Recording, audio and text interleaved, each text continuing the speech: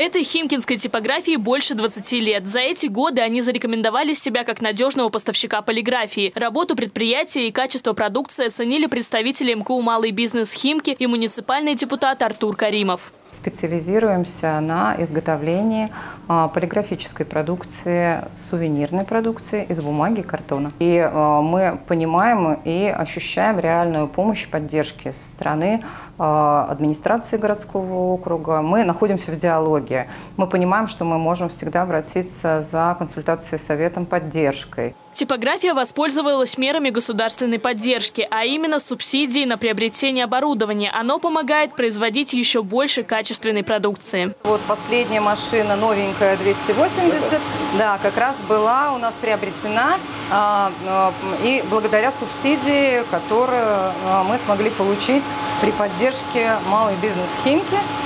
Вот, и вот мы сейчас работаем на ней. Типография имеет целый парк оборудования для изготовления сложных изделий с использованием современных технологий, в том числе и отечественных. Приятно осознавать, что сегодня в рамках проекта «Выбирай свое» партии «Единая Россия» наши предприниматели уже переходят на полностью российские составляющие, полностью российские компоненты. Получить бесплатную консультацию по актуальным мерам поддержки предпринимателей можно в МКУ «Малый бизнес Химки». Юлиана Мазырина, Елена Тараненко, Руслан Сафин. Новости Химки ТВ.